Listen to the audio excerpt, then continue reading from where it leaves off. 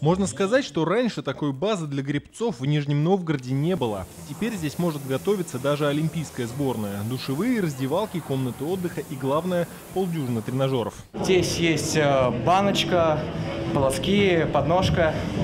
Мы подъезжаем, делаем грибок. Все как настоящей лодке. Но кроме тренировок, эта база еще и для соревнований. Все тренажеры синхронизированы с компьютером. Сила каждого грибка преобразуется в скорость виртуальной лодки на мониторе. По ходу виртуального заплыва видно лидера и отставание догоняющих. Это оборудование абсолютно соответствует современным требованиям спорта высоких достижений. Из-за того, что раньше таких тренажеров в Нижегородской спортшколе не было, зимнюю подготовку нашим гребцам обычно приходилось проводить в других регионах. Зимой их очень не хватает, потому что ну, на воде невозможно тренироваться, потому что ну, сборы не, не постоянно бывают. Вот, а так можно хотя бы на тренажере наработать там технику гребли, там что-то тренер подправит. Сейчас на грибном канале уже построены два эйлинга для хранения лодок. Продолжается возведение третьего. В Нижегородском Зюшоре по академической гребле занимаются 320 спортсменов. 18 из них – члены сборных команд России.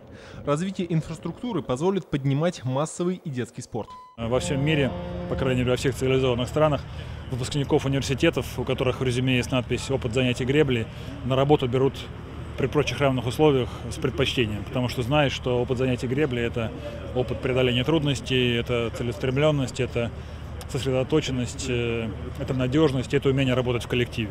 А еще теперь база может стать хорошим плацдармом и для подготовки сборных команд и проведения масштабных стартов. Канал, я считаю, что на самом деле один из самых неплохих в России, потому что огромные проблемы сейчас у нас с каналом, так как э, на большинстве акваторий боковой ветер.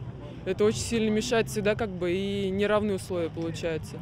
Поэтому, а в Нижнем Новгороде всегда либо встречный, либо попутный. Другого такого не бывает. Хотелось бы поработать над привлечением э, в Нижегородскую область, на наш грибной канал, э, каких-то международных соревнований, может быть, для начала всероссийских большого масштаба.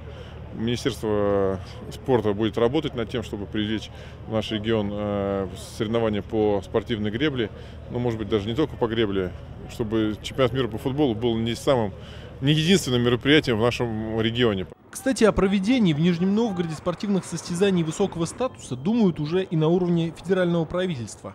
Может быть подготовлена э, заявочная книга на участие Нижнего Новгорода в э, проведении одного из международных соревнований по академической гребле. Возможно, 18-19 а, годов. Это будет замечательно, если вот с такого небольшого проекта по открытию нового спортивного центра мы сможем прийти к проведению в Нижнем полномасштабных международных соревнований по академической гребле. Алексей Александров, Максим Веселов, объективно, ННТВ.